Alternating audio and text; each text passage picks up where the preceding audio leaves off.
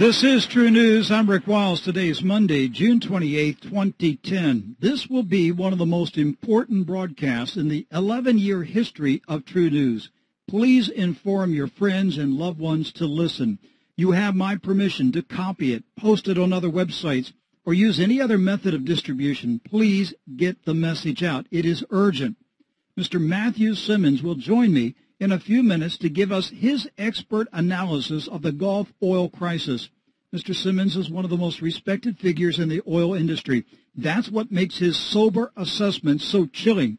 If this is your first time to hear TruNews, please visit our website, trunews.com, every weekday. TruNews, T-R-U-N-E-W-S, trunews.com. Mr. Matthew Simmons is on the telephone to discuss the ongoing calamity in the Gulf of Mexico. Mr. Simmons is the founder and former chairman of Simmons and Company International. He is a member of the National Petroleum Council and the CFR, and he's one of the world's leading advocates of peak oil. He is the author of the best-selling book Twilight in the Desert, the coming Saudi oil shock in the world economy. Mr. Simmons, it's an honor to have you today. Welcome to the program. Well, thank you. Um, um, I wish I had more pleasant news to share with you. Well, let's let's get into this uh, this calamity. You you've been a very outspoken um, person about the BP oil disaster, and I, I've been closely monitoring your comments since April 20. Uh, you were you were criticized by a lot of people in May and early June for your estimates about how much oil is pouring into the Gulf, but BP has revised their figures at least four times. So time has proven you correct. My, my question is, are BP and Washington telling the American people the truth about what's going on, or are they suppressing the facts? Well, first, first of all, I think my my uh, let, me, let me just back up and say that that uh, uh, on the morning of April 21st, when when we turned on the you know morning Today show, uh, uh, is here in Maine, and uh, and I and we got this you know glaring report that there was a rig fire, and I saw the visual pictures of the Gulf of Mexico on fire, and one of the greatest rigs that that that, that has ever been built starting to bur- to melt. I said to my wife in the first 10 seconds, I said, this is not a rig fire. That rig has 700 gallons of diesel on board. This must be the biggest blowout we've ever had. Now, you know, I'm I'm kind of fortunate or unfortunate of starting my career uh, accidentally in being an investment banker to the oil service industry uh, 45 days after the Santa Barbara oil spill. So, so blowouts have been kind of a you know a topic I wouldn't say near and dear to my heart, but but all all of the you know the uh, watching the evolution of Cameron Ironworks and Vetco and Vetco Gray and and and Hydril is is to try to build bigger and bigger blowout preventers so that we didn't ever have blowouts again. And then we stopped ever drilling deep wells for a long, long period of time because they were too they were too expensive. And I thought to myself, you know, this isn't this isn't a rig fire. Who is? And then I realized within about 20 minutes that BP had created the illusion that, that because they they still control all the news. And they created the illusion this was a rig fire. Well, that was great for two days until the rig sank. But when the fire still went on, they then said, oh, we have a leak and they blamed it on the riser. Now I know a lot about drilling risers because again we, we are I help finance a lot of these companies that make drilling risers. Drilling risers are basically uh, uh, 22 and a half inches in circumference, and two thirds of it is is, is a plastic elastomer, so that, so that the drill string doesn't crack and break in currents. I thought, what what are these people talking about? Are they just idiots? And then within a, you know a day or so, I realized they're not idiots at all. They they they obviously cut. I mean, BP is in, infamous in the last 15 years, which used to be a really great company. But when John Browne came in and and patted himself on the back of being the biggest cost cutter in the world, he created a culture of basically pride yourself on how much cost you can cut. And here they made the most egregious mistakes ever and this is a well that should never have been drilled. And halfway through, they should have quit. But they, they were desperate to book proven reserves. And so they must have realized when the well blew out that, they, that some people were going to have to go to jail unless they actually made a, you know, created the illusion that it was just a little leak coming from this riser. And that illusion is still alive and well today. Ten miles away from the riser is, is there are fumes coming up from the Gulf of Mexico from an open hole that most of the scientists now pretty well agree by the by the spread of the oil lake has to be at least 120,000 barrels a day. But, but, what's amazing is BP still, for, for, to give them credit, and you know they, they still basically have dominated the news, and the government uh, is just befuddled about what to do. I mean, I've I've never met uh, Admiral uh, uh, uh, Thad Allen, Allen. but I hear that he's one of the finest public Mhm. servants ever. But he doesn't know anything about this. So Mhm. we're, everybody is relying on BP for their information, and BP's lying through their teeth. You, we- you said that there's a second leak about 10 miles away? That's not, it's not a second leak. It's the blowout. That's the blowout. Yeah. Then what are they showing us? They're showing us, you have to visually picture a 22 and a half inch circumference piece of white pipe. And out of that is a little tiny crack. And out of that is some fumes that are going about three to four feet high. And they, and they cleverly hired all the ROVs, which are the only things you can see uh, you know, in the Gulf of Mexico, to hang right around that thing. So it, it wasn't until finally these big, nasty globs of slimy oil started showing up on beaches that the government sprung into action and said something must be going on we don't know about. And so the National Oceanographic Atmospheric uh, NO, NOAA, uh, you know, commissioned you know their their their their bevy of research vessels to start going out and doing what BP should have done from day one. Say what is going on, and they started seeing these oil plumes. Okay, now, plumes the plumes were so extensive that they finally put the finest research vessel we've ever made in America, the Thomas Jefferson, to work. Uh, and the Thomas Jefferson basically you know, had airship down in New Orleans to put on the vessel the finest recording instruments that Woods Hole has ever uh, had. And the Thomas Jefferson has basically totally confirmed that the open hole has no casing left, and that it's basically now you know, but by by the extent of how wide the the oil lake is, it's basically got to be about 120,000 barrels a day, and unfortunately, at, at about 4,500 feet water depth, uh, which you get frigid water, we have about a four to 500 foot, you know, lake of toxic oil, and the gases coming out of that are so lethal. It's it's methane, and butane, and and uh, the uh, all, all the, it's worse than mustard gas. what are we looking at with these live webcams? What you're looking at is the, is, the, is a little tiny leak in the riser. It's like a it's like a leak in your radiator car. Mhm. But but by now, Washington certainly knows that this is not the this is not true. Well, I think Washington is in the last t- 10, 15 days has started to, you know, grasp the magnitude of how of, of, of this whole thing, and unfortunately, they're having to they're having to tiptoe lightly through this because I mean, you know, I mean, I'm, I'm a fourth generation Republican, but I can't tell you how annoyed I am about the Republican Party politicizing this and making Obama look like a communist because he actually is beating up on BP. BP Okay. ought to, they've been the senior executives of BP ought to be in jail right now. Mm-hmm. I think there are going to be manslaughter charges come out of this. Are, are you saying that? Um, I mean, in your opinion, you you think that BP has succeeded in hoodwinking Obama and most of the federal government up until now? Until about until about two weeks ago, I think they they almost pulled off the biggest scam in the history of the world. Now, when when when, the news finally started getting through to to the White House, uh, give give Obama his due.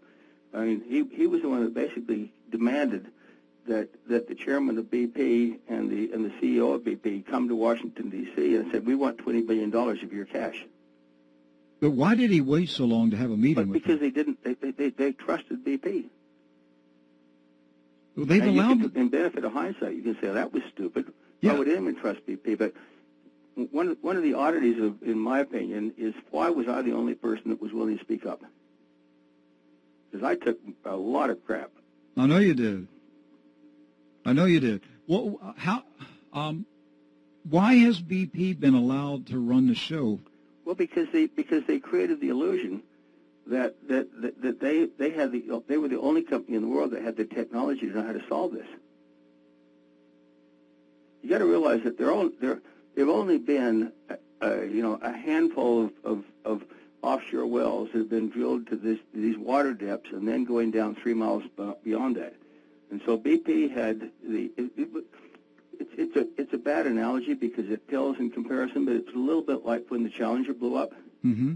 And now with benefit of hindsight, we go back and say, well, we got so we got so lax and casual about how easy this was that we basically didn't realize that O-rings basically can can freeze in, in cold weather and then they blow up.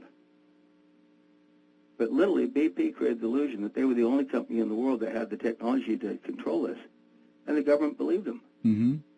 Now we should go back and say, well, how stupid! We should have elected a president of the United States who was an expert in blow-up prevention.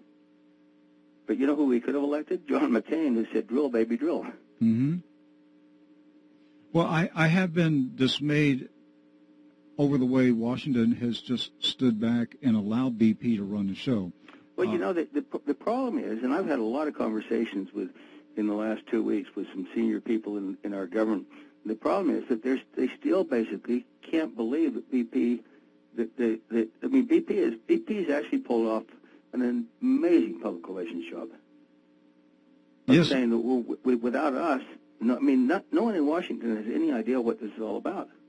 And, and certainly nobody in the news media either, because you don't you don't see anybody in the national news media asking them some serious questions. Well, I'll, I'll tell you, I, I give a lot of credit to the to the media because, again, they've given me more airtime in the last, unfortunately, in the last 60 days than I've ever had in my lifetime to get this message out. Mm-hmm. But it, but it, but it's interesting that, for instance, C- CNN uh, uh, sent the first crew out to be on the Thomas Jefferson and then they sent a video team to the ROV Center in Houma, Louisiana. Mm-hmm. So I get a I get a call from the person directing all this saying our television crew is actually at the ROV Center, and BP is saying there is the blow-up preventer. So the, we, you know the idea that there, that we don't know where the blow-up preventer is, you're looking at it. So she said, do you, do, do you believe this? I said, would you ask your crew to ask BP, do they really believe that this little box on this 22 and a half inch uh, riser weighs 325 tons and is five feet, five stories high. They said, well, that's confidential information. All right, so you you're saying that where the the main leak is at, it's 10 miles away. 10 miles away, and there's no casing left. So basically, nope, we just hole. we just got an open hole in the seafloor. Yep, and we and the, and the only way that anyone has ever dealt with plugging an open hole of this magnitude was what the Russians did five times successfully in the early 70s. They they created a small uh, uh, low-grade nuclear device, and they inserted it right down the wellbore, and finally detonated it, and it fused the rock into glass and shut it in. And if we don't do that, we will never shut this in. Do you think Obama is seriously considering that option? I'm sure they must be. All right, so if we have a hundred thousand, but, but two weeks ago, they still believe BP that was a that that that I mean BP every day puts out a press release saying we captured 22,000 barrels of oil. Well, most of that is actually water. If we have 100,000 barrels a day, 120,000. All right, so 120,000. So it's over 3 million barrels a month pouring yeah. out. And the estimates are, what, a billion barrels that are in it? Well, they, they unfortunately, what BP was, why BP was going for, for broke on this is that they believed it was a 25 billion barrel oil field. 25 billion. If it were a billion barrel oil field, they've they've lost money on it. So if we don't if we don't shut it in, then basically we're going to create the. I mean, I think probably unfortunately that that maybe half the Gulf of Mexico is now a dead sea. There's no oxygen left. Uh, you you have said that at least 40% of, of the Gulf is now covered by oil? Yeah. But it's way down, it's, it's 4,500 feet below the surface. So, so all we're seeing is about, you know, maybe way less than 1% showing up so far. But, but the hurricane, I mean, you know, we all, we, we all should pray that the hurricane ends, but it's not going to. Mm-hmm. And the swath, basically, I mean, it was, it was amazing. Yeah, last evening, the, the, you know, the news reports were all saying, oh, it's going to basically, you know, hit close to, you know, way down into Mexico, so we're spared. Well, Now they're saying there's a 50-50 chance that it could actually be in Corpus Christi or Brownsville or higher. Well, you know, I know enough about hurricanes because they've been very instrumental on on the impact of, of drilling activities in the Gulf of Mexico. We have no idea yet. I mean, this hurricane could basically hit New Orleans. We Yeah. won't know that for a day or two. That's right. That's right. But what it's going to do, it's going to bring to shore the toxic oil that we've only seen 1% of. And what really worries me the most is that that stuff is so poisonous that we should be p- passing out gas masks like crazy. I'm told that all the ocean, all the ocean, oceanographic people on these research vessels are now wearing gas masks. We've heard reports of methane gas levels at 1 million times normal. Yeah, I mean, more. I think the New York Times reported a few days ago that there's been more methane released from this than the history of the world. And that stuff in your lungs is worse than mu- the mustard gas. Oh, So if you think Saddam Hussein, you know, did a bunch of people, this is the Saddam Hussein, you know, squared. is there a danger of a massive methane gas eruption? Oh, Well, yeah, I mean, if the hur- if the hurricane brings this stuff to shore, you know, I mean, I I I I keep saying that we really basically should be at least having have in place an evacuation plan to to evacuate all the citizens of the Gulf Coast. So, so you, you're not even talking about um, the seafloor erupting with a methane gas. Oh no, no, I'm talking about talking the about the- that's already there. The methane that's already released. You're saying that, that this is so deadly that if it's brought in by a hurricane, if, if if the if the top if the four to five hundred feet lake, you know, gets tossed up to the surface, then then it, it could be the greatest you know nightmare we've ever seen, worse than any war we've ever had. what's the danger of of a massive methane gas explosion from from the seafloor? I don't I don't I actually think the explosion would be good news. I think the problem is that we, is the is people breathing it into their lungs and dying. Mm-hmm. Of being asphyxiated, the, the, Yeah, the methane replacing the oxygen. Yeah, yeah. Which, um, eh, when I, I was doing some research, and I, you know, I came across the story out of Cameroon, Africa, 1986. The lake, Yeah. uh, the methane gas bubble came up Yeah. and killed 1,800 people instantly. And how big is Cameroon That's not that big. relative to the people that live, uh, you know, across the Gulf Coast? Do, do you have you have any estimate? I mean, it, it, with hurricane winds, how? Well, what, Much what we know about hurricanes is that what it you know, is that they stir up. The, I mean, w- one of the things that's odd about the Gulf of Mexico is how little we really know about it, because you know in the shallow parts of the Gulf of Mexico, it's very it's very warm water. Uh, but when you get about 20 miles offshore, it turns into being like the Caribbean, and when you get two or three hundred feet down, it turns into cold water when you're down at basically the you know in, in the outer continental shelf down to 5,000 feet, which is where the wellbore begins, it's basically 37 degree water. So it's so it's frigid water. So the reason we've never seen this oil lake is it's basically it's a it's a it's a bed of tar. But what the hurricanes do is they churn up the cold water, and for, that's what saved Houston's bacon when when after Katrina is that Rita basically stopped because it was, when they got closer to shore there was all this cold water. Well, now we're not going to have cold water. We're going to have deadly gases, de- deadly oil.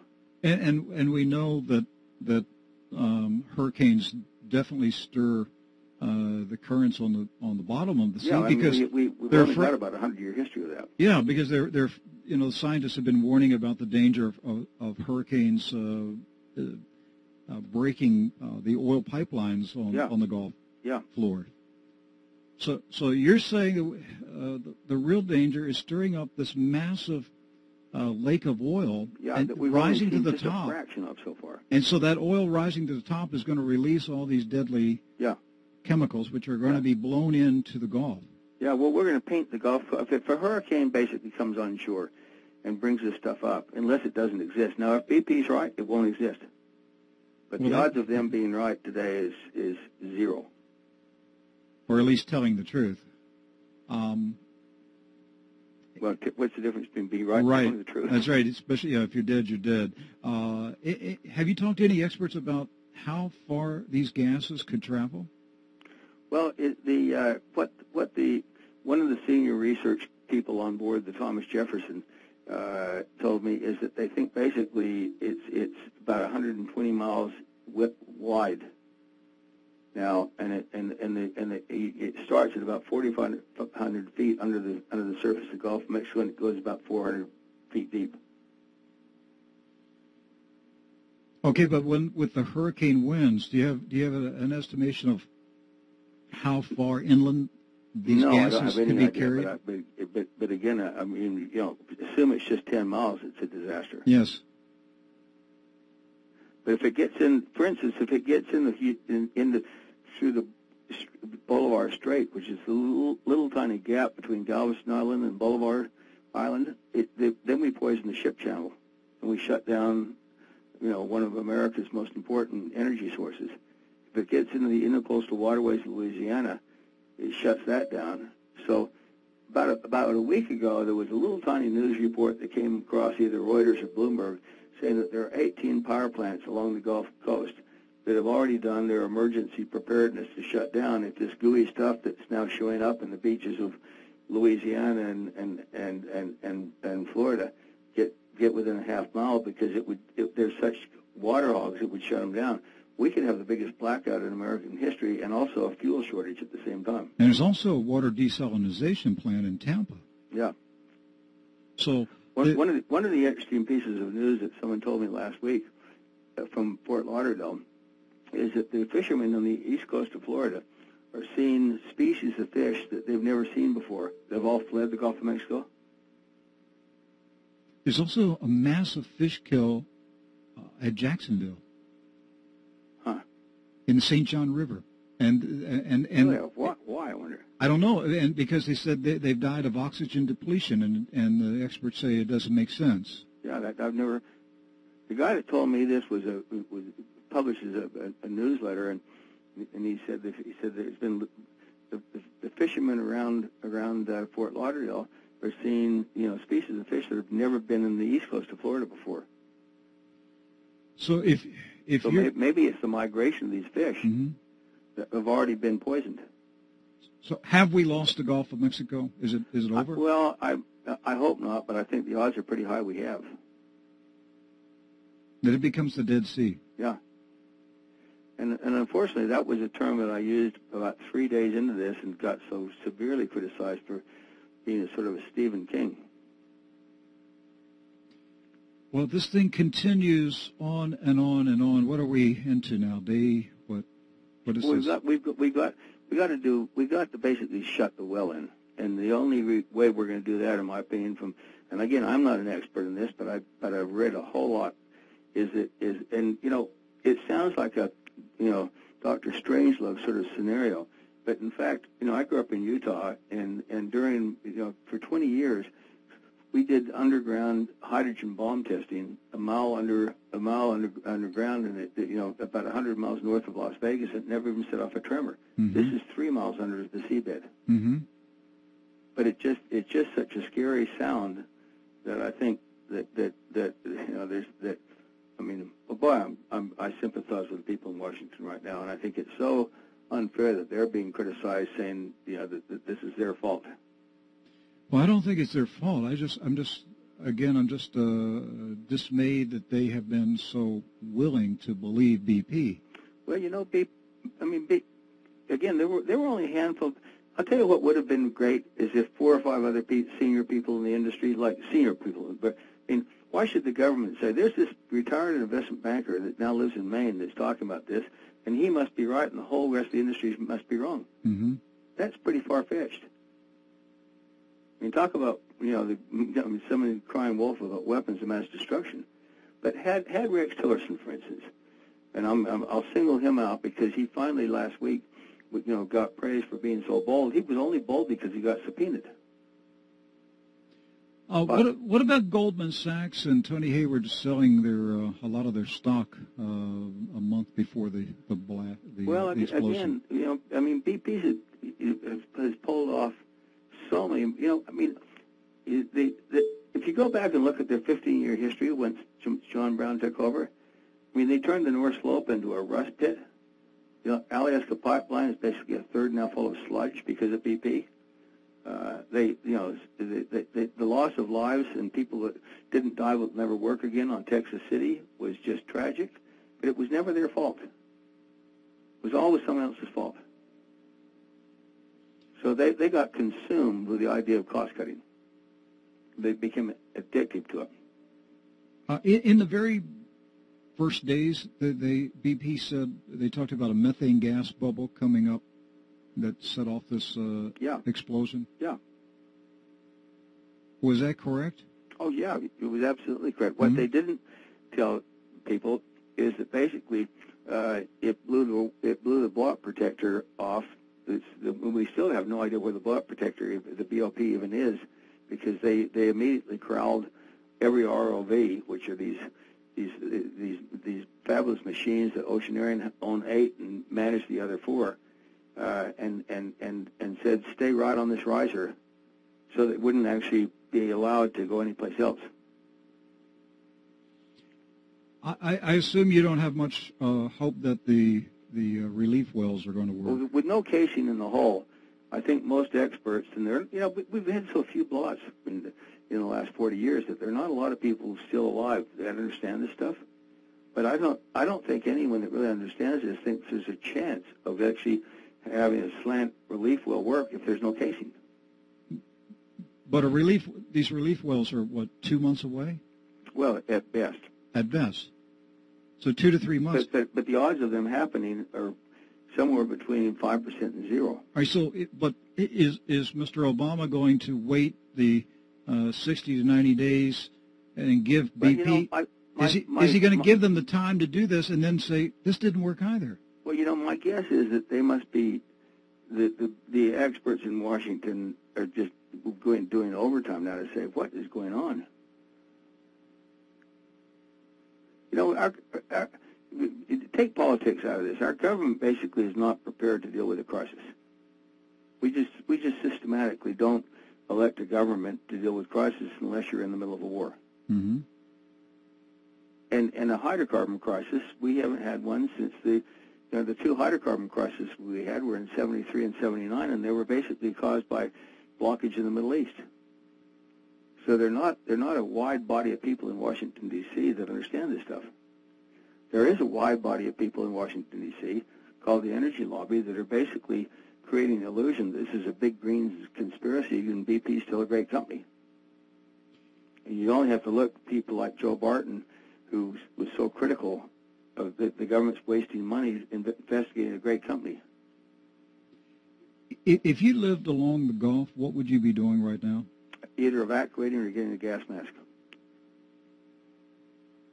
Wow, those are two wonderful options. Yeah, very sad. I think this is probably the saddest story I've ever even read about. This this could this could make the Civil War look like a trivial incident in U.S. history. It's pretty dramatic, Mr. Simmons. It's really, I mean. Well, you just you, have to add the facts up. Mm-hmm. And I mean, and say how many people actually live along the Gulf Coast within 20 miles. I don't even know what the number is, but is it is it 10 million or 20 million people? Because you're talking about Brownsville all the way down to to, to, to the Florida Keys. There, there's a lot of speculation uh, uh about a, uh, a methane gas bubble uh, induced tsunami. Is, is, that a concern? I, I I don't know. I think if it were, we'd already had one. I think the hurricane, and you know what's interesting is that from there's sort of, I mean, about eight weeks ago, the the Colorado State uh, uh, uh, uh University uh, weather uh, hurricane experts, you know, said that because of the of the heat of the water of the Gulf of Mexico, we're we're probably going to have the highest hurricane season we've had in 20 or 30 years. Mm-hmm somehow or another, there's the illusion that Alex is the only hurricane we're going to have. You know, Joe Bastardi was here a few weeks ago. He he says there's there's a possibility this may be the all-time record. Yeah, I mean, and it's all because of the temperature of the Gulf of Mexico. And ironically, it was a year ago that the Colorado State experts said we're probably not going to have a hurricane this year because the Gulf of Mexico is cool. and they were right. That's correct. Um,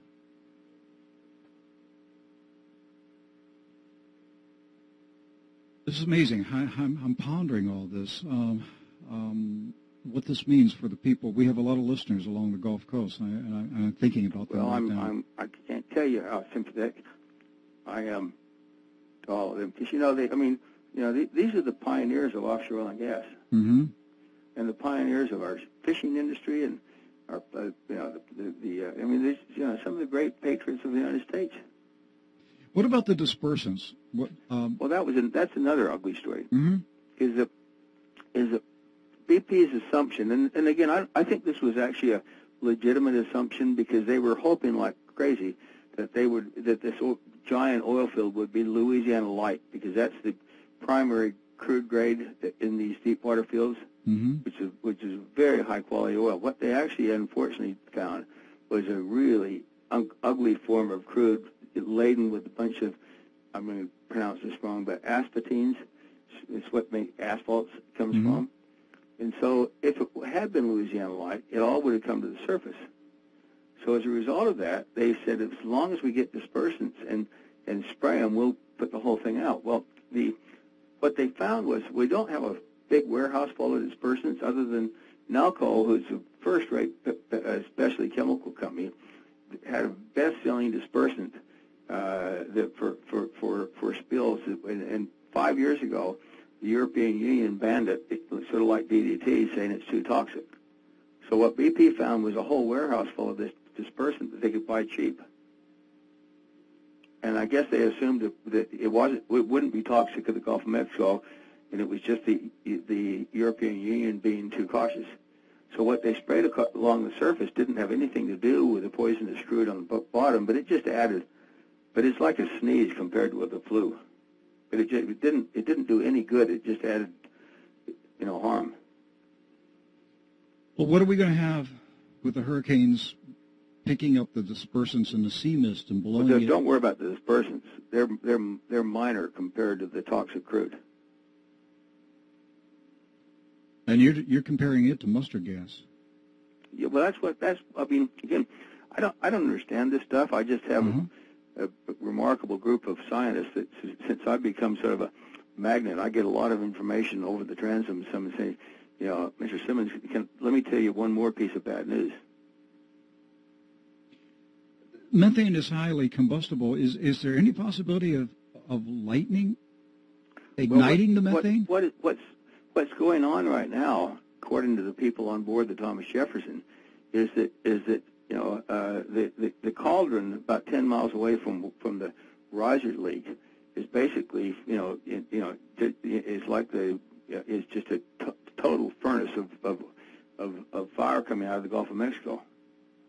They were the Thomas Jefferson was finally allowed two days ago uh, to get within one kilometer. And when they first went out with all this stuff, that NERDA, which is the National Disaster Recovery Administration, which I'd never heard of their name before, limited them to, to, to staying 10 miles away from the cauldron because of risk of loss of life. And finally, they negotiated to get three miles. And finally, last week, they got within one kilometer, so they can finally start to, you know, you know, try to figure out where exactly is the wellbore, because there's no there's no metal left, so they really don't even know exactly where the wellbore is. They know they know within one kilometer. Did you say that there's there's fire coming out of? Oh yeah. Okay. Several years ago, uh, one, and I remember reporting a story in the program that, that, that scientists had discovered asphalt volcanoes mm-hmm. in in the uh, Gulf of Mexico. Yeah. Is is there a possibility that BP drilled into a volcano? They they could have actually. I mean, not drilled into a volcano, but they could have. You know, I was I was at a at a uh, speaking at a dinner in early uh, December for one of the major tanker uh, uh, organizations, and they invited all, once a year. They invite all their best customers to come for an appreciation, and they and the, and the head of the shipping uh, department at Petrobras in Brazil was supposed to be there, but he got the flu. So the, one of the top senior executives in their exploration program was just happened to be in Houston, so he came in his place. And I was sitting next to him at dinner. I said, "Tell me about the Santos Basin, the Tupi field." I mean, the- how, how, I mean, is, is that as big as people are all saying? He's, you know, we don't have a clue yet. He said that is the riskiest project that's ever been done. He said, it, first of all, the, the, it's about 300 kilometers from the nearest shore base, so just delivering the, the, you know, the, the daily materials is a chore. Then you get materials on a drill ship, and the drill bit goes down through seven to 8,000 feet of water, and then it starts penetrating through the crust, and you basically go down through 20,000 feet of salt. And you get below the salt, and you're nearing the center of the earth. He said the first three well, test wells at Tupi had an average uh, temperature of 900 degrees Fahrenheit. And what some of us are worried about is could we actually be penetrating the crust? And if we do, we'll create the largest man-made island in the history of the world. So this could have actually been penetrating, you know, close to penetrating the, the crust. Okay, this is starting to turn into a sci-fi nightmare. Excuse me? I said this is starting to turn into a science fiction nightmare now. Oh yeah. I mean, I, can't, I can't imagine, you know, someone if someone had written this up as a book, it would have been so incredible that no one would have read it. I'm not a scientist, but throughout this entire ordeal, um, the thought of a volcano has been on my mind. Mm-hmm. Now, I have asked numerous guests. I've had geologists and other scientists on the program. I've asked them the same question. No one has really said it's a serious possibility. But I, I something inside of me says this is far worse than any of us realize right now. You know, the the uh, the deep the deepest well that's ever been drilled, in the, at least in the U.S. history, uh, was ba- basically back in 1972 or 73, and it was something like the Big Bertha or something like that. It was in in the Anadarko area of Oklahoma. They went down to 33,000 feet vertical depth, and for about three days they got the most high, the highest quality uh, uh, condensate ever, and then all of a sudden molten sulfur started coming out. And, and, and, and, and several people on the crew said, God, this is the earth burping.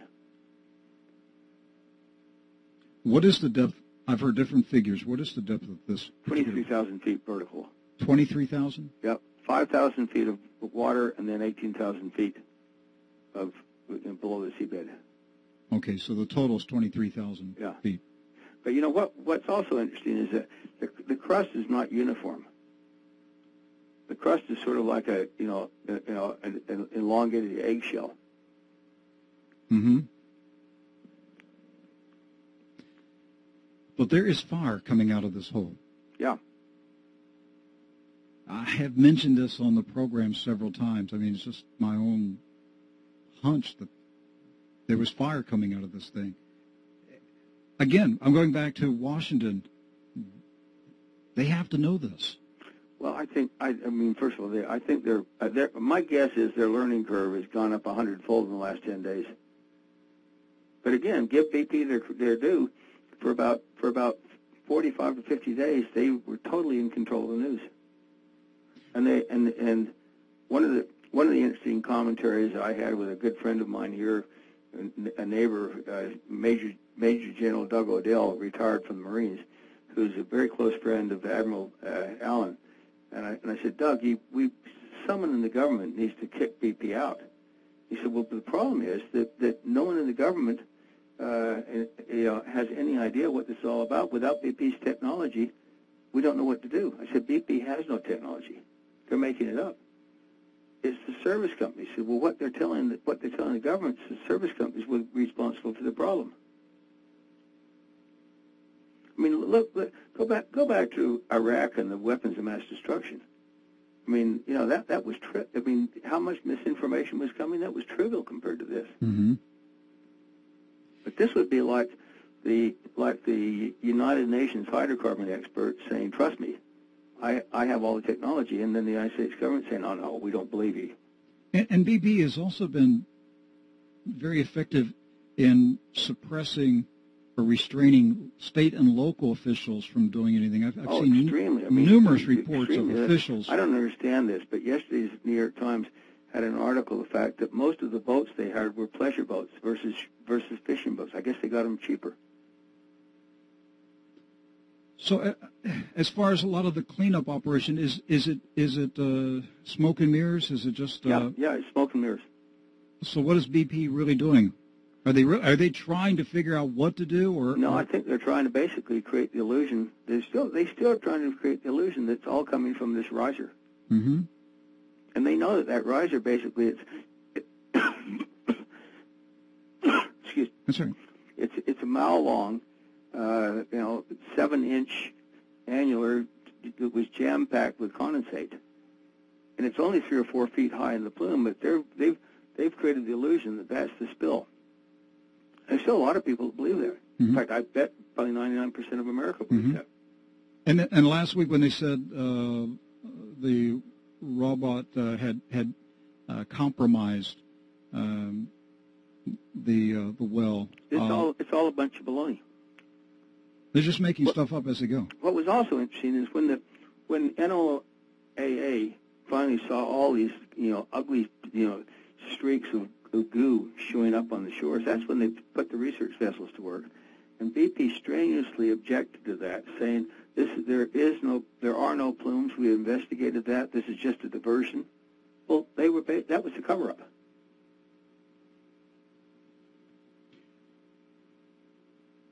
If Washington has been hoodwinked and they wake up and they realize what BP is doing, uh, they're going to have to slap some handcuffs on some executives. I, I would think so. I mean, I think you're looking at manslaughter charges, frankly. I mean, 11, 11 people are dead, and maybe a lot more people are going to die.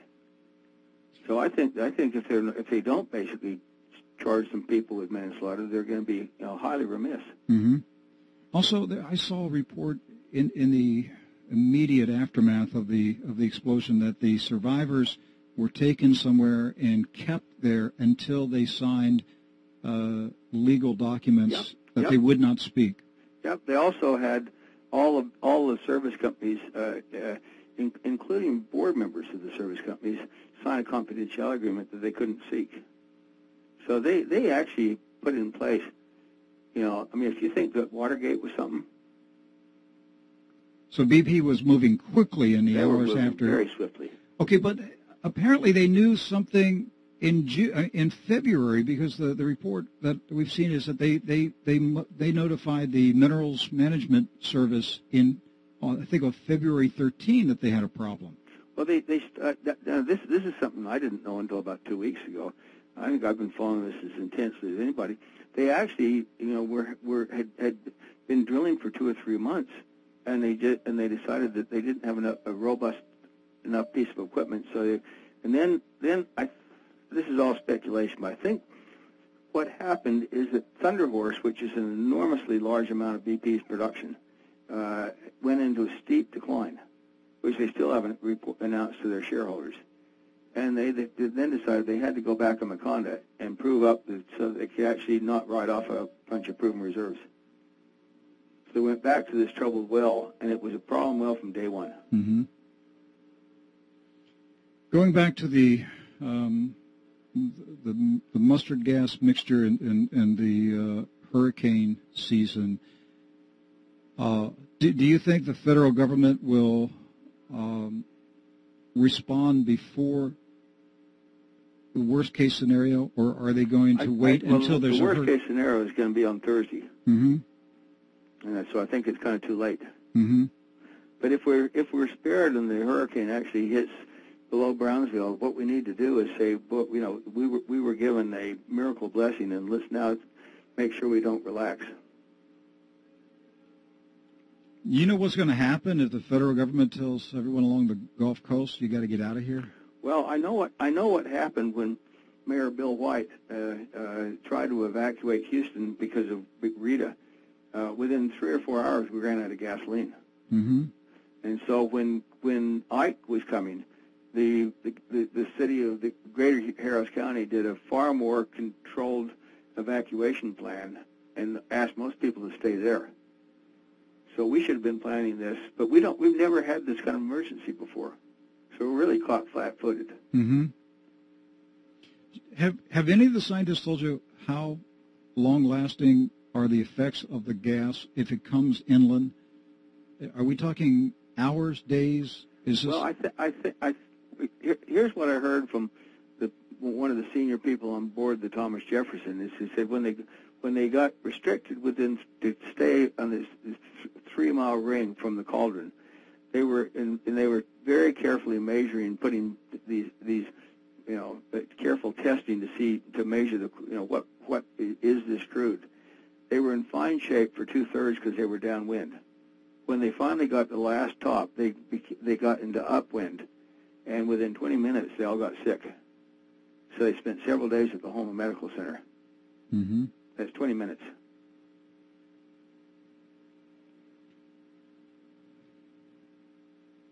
All I can say to the folks living along the Gulf, and if you have family or friends along the Gulf of Mexico, please take this program seriously. Take this warning well, first seriously. of all, just I mean, I don't know how many gas masks we even have in the mm-hmm. United States, but I mean, the cheapest insurance policy anyone could do is get gas masks.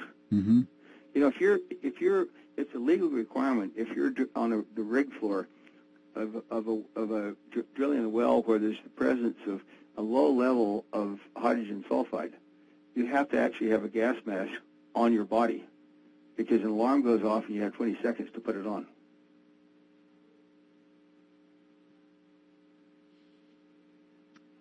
So and we have we have a lot of scientific history of how lethal this stuff is. Yes. And as we all know, um, it there's not going to be any warning uh, no. for the people. I mean, that was the tragedy on, on the on the on the Transocean rig is they had one second before it blew out. And and and I'll tell you what, the heroes on Transocean, the, the, the I don't know if you've seen the, the any of the videos of the of the widow of the guy that came home on shore leave and and said there's something going so wrong on this. I'm I'm not sure I'll, uh, I'll come back alive. So he drew up a will and, and told his wife how to raise the kids.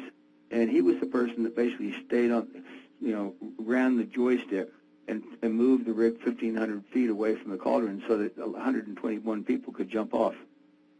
And then he burned to death. Mm-hmm. Now, when BP basically uh, announced last week that told all their vendors that once this is over, they're going to all be sued for gross negligence, I mean, that guy, that one individual should get a Congressional Medal of Honor. Yes. I did see the 60-minute uh, interview with the with the man yeah. who, who jumped 90 feet into yeah. the into the uh, oil. But see, uh, if that if, they, if that if the guy had not moved the rig, uh, uh, you know, I mean, a third of a mile away, they would have burned to death. We're we're on the east coast of Florida. Do the people living on the east coast of Florida have anything to, to fear about I, this? I would I would think that the east coast of Florida is spared because first of all, the, unfortunately, the loop currents loop in the Gulf of Mexico, and and the idea that it's going to get in the Gulf Stream, the Gulf Stream basically goes from the surface of the of the of the uh, of Atlantic Ocean down about a thousand feet, and then you get into placid water. So, in, in a funny sense, it would probably be a blessing in disguise if you could disperse this out of the Gulf of Mexico but I think the east coast of Florida is going to be in fine shape. All right. I wish we could continue, but we are out of time. Um, my guest well, I'm today... glad you're doing this story. This is this is this is truly a tragic, tragic, you know, piece of American history. It is, and it's going to change our country. Yep, profoundly. It's, it's going to change our nation. Uh, my guest today, Mr. Matthew Simmons, uh, the founder and chairman of uh, Simmons and Company International. Uh, Mr. Simmons, thank you so much. Appreciate you coming on the program, and um, we'll be glad to have you back on. Uh, well, I I'd lo- love to come on, you know, sometime and say, boy, I was wrong. Yes, sir. Me too. Me too. Um, but right now, uh, right now, you've been right throughout this uh, crisis. Sadly. Yes. So thank you for coming on the program, and uh, please continue speaking out. A lot of people are counting on you to uh, to give us the facts.